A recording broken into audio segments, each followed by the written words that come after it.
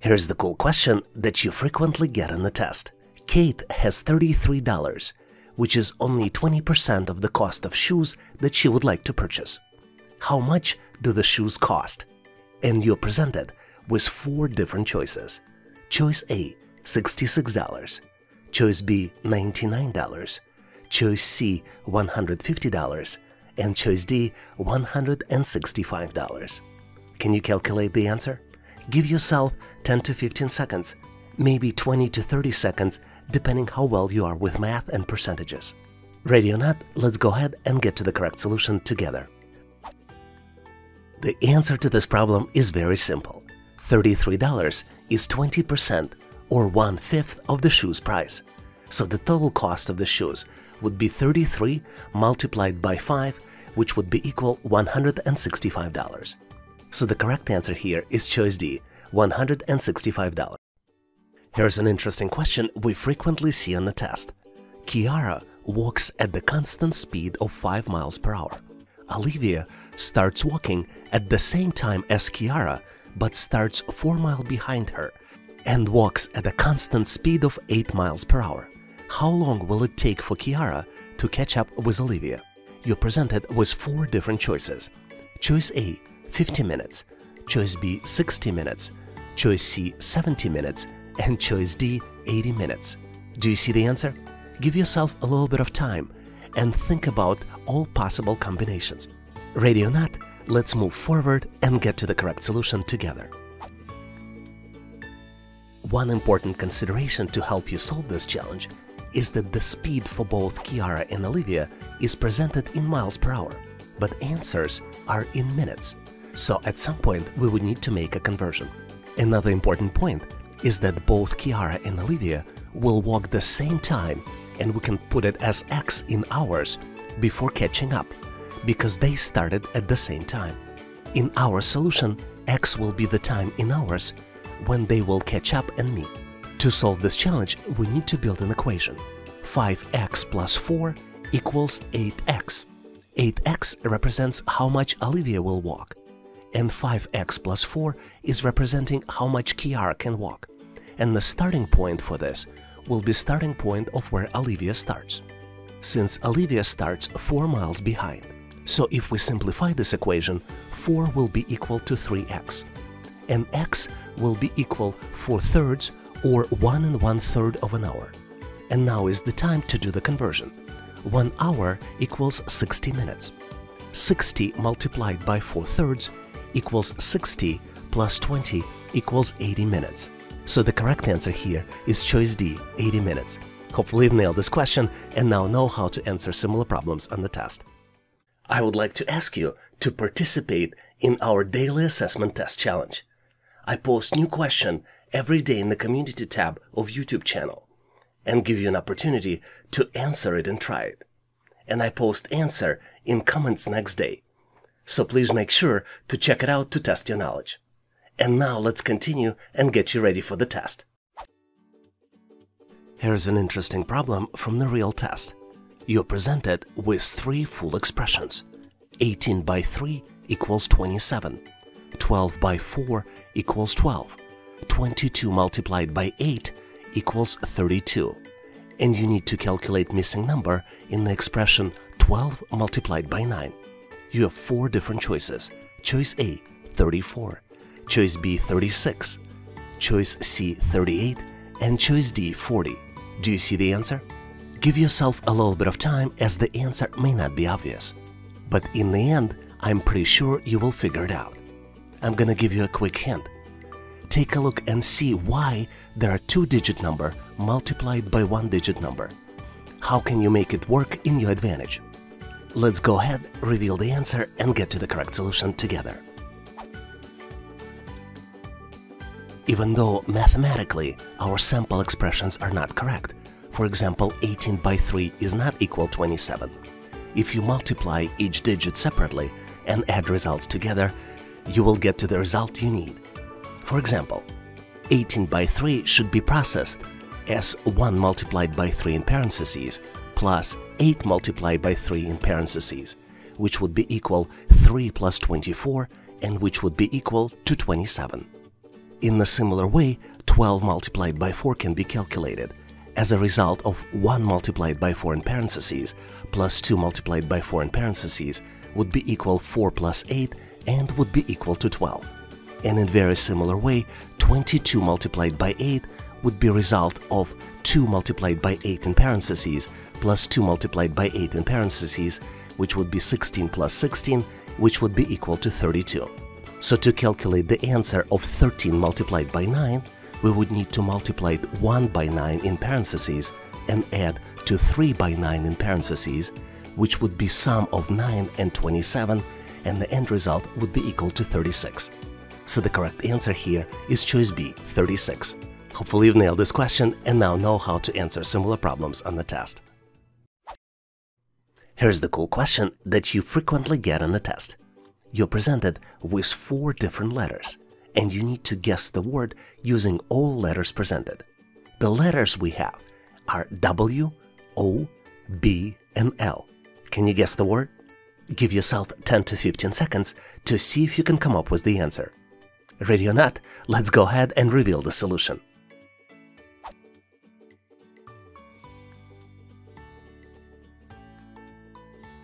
The correct answer here is ball, which is spelled as B O W and L.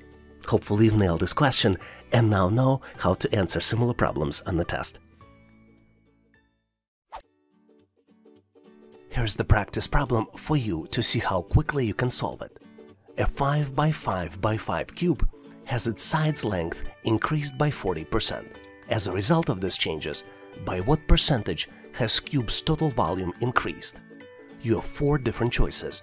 Choice A, 221%, choice B, 253%, choice C, 274%, and choice D, 327%. Can you quickly calculate the solution? Give yourself a little bit of time because the answer to this problem may not be obvious. I am going to reveal the solution now. The answer is choice C, 274%. Do you know how to get to this solution? Please make sure to post your comments in the comment section of this video. Thanks for participating and good luck!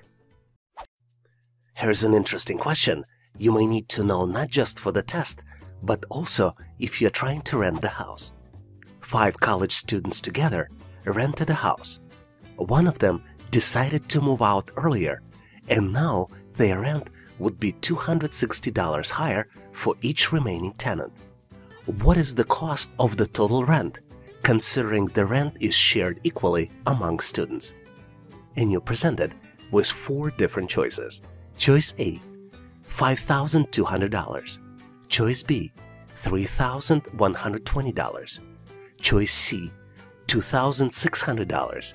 And choice D, $2,340. Give yourself 20 to 30 seconds. Maybe pause this video to see if you can come up with the answer on your own. Let's go ahead and solve this challenge together. One of the easiest way to solve this challenge is to create a formula. Let's start by defining a variable, and we will define this variable as s, which would represent an initial split rent for 5 students. So, using this formula, we can calculate the total house rent as 5 multiplied by s, which means that after one student left, the total house rent could also be calculated as 4 multiplied and then the value in parentheses s plus $260. Using both approaches, we can create an expression. 5 multiplied by s equals 4 multiplied and then the value in parentheses s plus $260. Once we simplify it, we'll get to the equation 5s minus 4s equals $1,040 which means that the S equals $1,040, which represents initial one student rent. To calculate total house rent, we need to multiply 5 by $1,040 and the result will be $5,200. So the answer is choice A, $5,200. Hopefully you've nailed this question and now know how to answer similar. Here's a cool question which you frequently see on the test you're presented with two cubes. One cube has side length equal 1 unit, and second cube is a larger cube and it has side length equals 3 units. So the question is, how many small cubes can fit into the large cube? And you have four different choices. Choice A, 9. Choice B, 18. Choice C, 27. And choice D, 81. Do you know the answer? Give yourself a few moments to calculate it. Maybe 20 to 30 seconds. This is about as much time as you get in the real test. Ready or not? Let's go ahead and get to the correct solution together. To solve this challenge, you need to visually imagine how many small cubes can fit into one side of the larger cube. And the answer is that three small cubes can fit on each side of the large cube. And since cube is three-dimensional, the number of small cubes that can fit into the large cube can be calculated using the formula 3 multiplied by 3 multiplied by 3, which is equal 3 cube, that's where the word cube might be coming from, which equals 27. Since cube is three-dimensional, the number of small cubes that can fit into the large cube can be calculated using the formula 3 multiplied by 3 multiplied by 3 equals 3 cube equals 27. So the correct choice here is choice C, 27. Hopefully you've nailed this question and now know how to answer similar problems on the test. A lot of you are interested and ask me, how can I help others? One of the ways you can help other people is by sharing the latest questions you see as part of the assessment test. And when you share, please make sure to also include how you answered them. Please share the question you recently encountered in the comment section of this video. And if you know the answers, please share them as well. And now let's continue and get you ready for the test. Here's the puzzling question that you might frequently see on the test. The sum of all the ages of four family members is 85. What would be the sum of their ages together in 5 years? And you're presented with four different choices. Choice A, 90. Choice B, 95. Choice C, 100. And choose D, 105. Do you see the answer? Give yourself 20 to 30 seconds to see if you can come up with the solution. Ready or not, I'm moving forward to get to the correct solution together. What's interesting about this problem is that it is simpler than you think. So the key here is not to overthink the problem. There are four family members, and sum of their ages is 85. And in five years, each family member will be five years older. So incremental age increase for all family members can be calculated as 4 for family members multiplied by 5, 5 years, equals 20 years. So sum of the ages of all family members in 5 years can be calculated as 85, which is original sum, plus 20, which is the incremental age increase, and would be equal to 105. So the correct choice here is choice D, 105. Hopefully you've nailed this question and now know how to answer similar puzzles on the test. And now I have a practice question for you. You need to determine which item comes next in the sequence. You're presented with three large squares. Each large square contains nine small squares inside, and small squares are of a different color. And the fourth square is missing, and you have four different choices to choose from. Choices A, B, C, and D. Do you see the answer? Give yourself 10 to 15 seconds to see if you can come up with the solution. And make sure to post your solution and your rationale in the description section of this video. This way I can give you my feedback. Thanks for participating and good luck. Here's an interesting question which tests your understanding of money management as well as accounting. Sarah has twice as much money as Nicole does. After Sarah loans $500 to Nicole, she will have 1 point times as much as Nicole does. How much money did Nicole have originally? And you're presented with four different choices. Choice A, $1,000. Choice B, $1,500. Choice C, $1,800. And choice D, $2,500. Can you calculate the answer? Give yourself 20 to 30 seconds. Maybe pause this video and give yourself as much time as you need. Let's go ahead and move forward to get to the correct solution together. The best way to solve this challenge is to assign a variable to what Nicole had originally. If we assume that Nicole had originally n dollars, then Sarah will have twice as much, meaning 2 multiplied by n, or 2n. That means that after the transaction, when Nicole received additional money from Sarah, Nicole had n plus $500 and Sarah had 2n minus $500. Based on this information, we can build an expression. 2n minus $500 equals 1.5 multiplied in parentheses n plus $500. Let's go ahead and simplify this expression. We will get to the result of 2n minus $500 equals 1.5n plus $750, which means that 0.5n equals $1,250.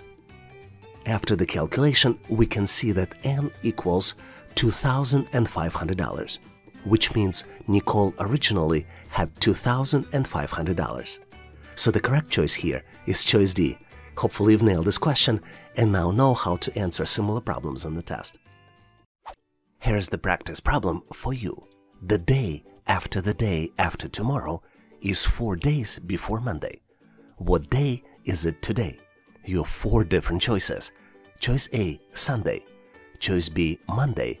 Choice C, Friday. Choice D, Saturday. Feel free to pause this video to see if you can come up with the solution. I would like to give you a hint. The best way to solve these types of problems is using reverse calculations. So do you see the answer? Give yourself 10 to 15 seconds to see if you can come up with the solution. Did you figure out the answer?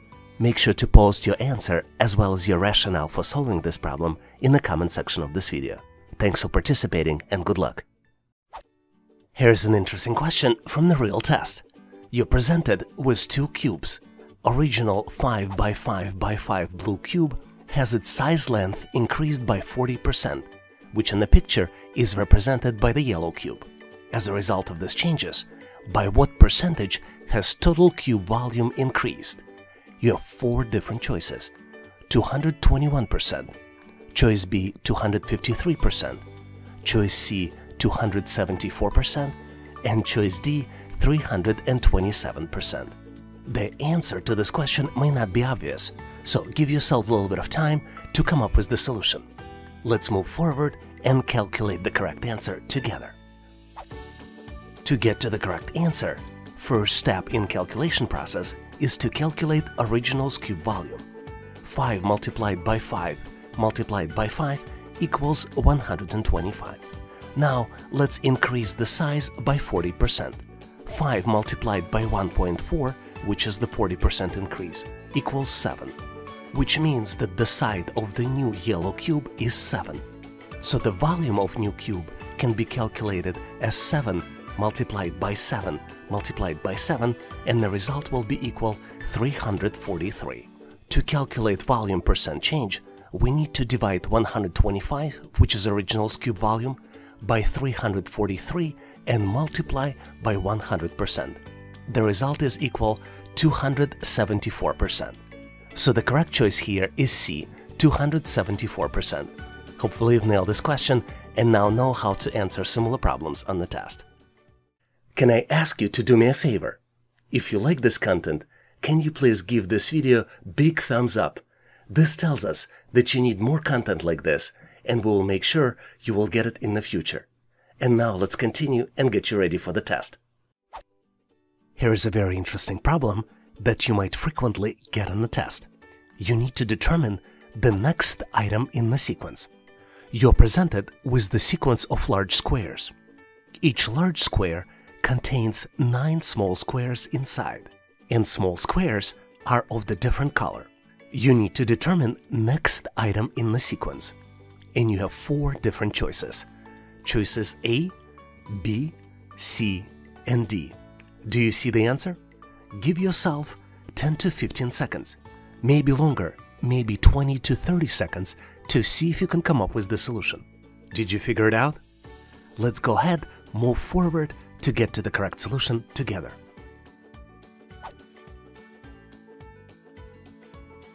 As always, my advice to you look for patterns. And determining the pattern is key to solving this particular problem. What you need to know to answer this particular question is that blue shape moves within the row of the larger shape.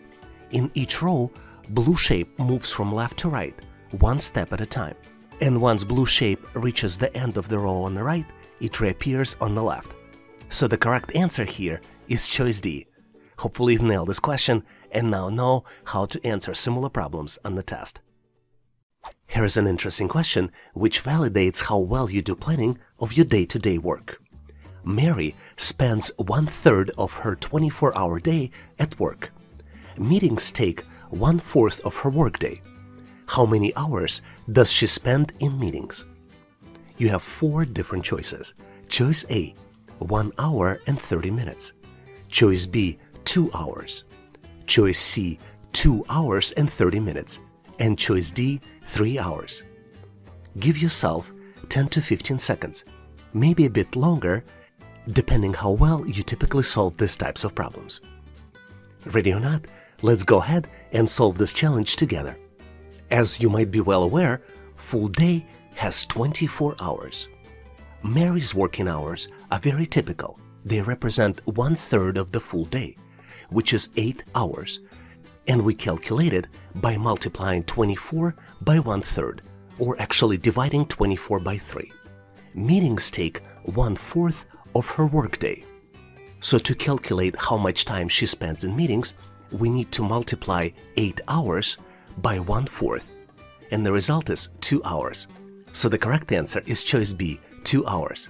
Hopefully you've nailed this question and now know how to answer similar problems in the test. One of the most frequent questions I get is to provide the best techniques to get prepared and pass the test. We put together a list of resources that might be helpful for you in the description section of this video. Obviously, taking sample tests and reviewing questions and answers is a must. But some less known ways to improve might be to take dietary supplements, sign up for free trials with educational training vendors, and even use special supplements to improve your brain function and concentration. I put links to our trusted partners for the products I use in the description section of this video. Some links might be affiliate, which means that I will get paid a small fee without increasing costs to you. Make sure to check them out. And one request for you. If you know any other helpful resource to help you get ready and pass the test, feel free to share it in comments so we could all learn and get better prepared. And now let's continue and get you ready for the test. Here's the interesting question, which is easy to understand, but at the same time you will have a lot of fun solving it. You need to calculate the simple expression 12 divided by 2 and then multiplied on the value in parentheses, which is 3 minus 1. Take a look closely and see if you can come up with the answer. There are three operations here division, multiplication, and subtraction. All you need to determine is which one to do first, second, and third. Do you think you know the answer? Let's continue and get it solved together. The order of operations in math tells us that the first expression we need to solve is in parentheses. We first need to calculate 3 minus 1. And obviously the answer is 2.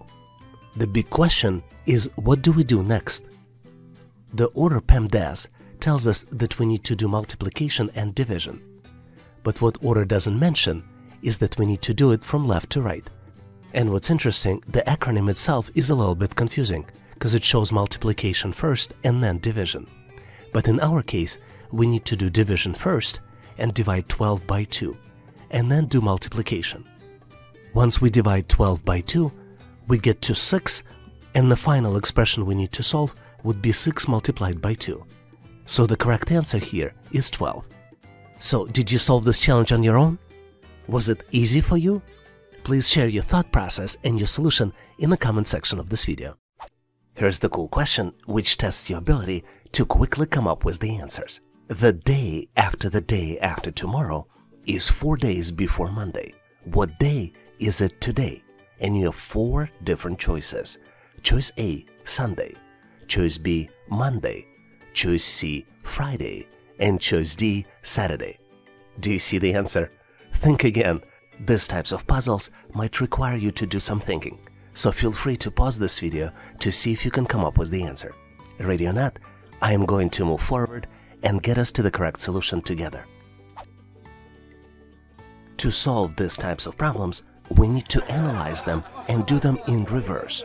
Four days before Monday is Thursday, and the day before day before Thursday is Tuesday. If tomorrow is Tuesday, it means that today is Monday. So the correct answer here is choice B, Monday. Hopefully you've nailed this question and now know how to answer similar puzzles on the test. Thanks for watching. If you like the content, please give us a like and consider subscribing. Thank you for your endorsement, support and patronage. Please also check out additional resources in the description section of this video.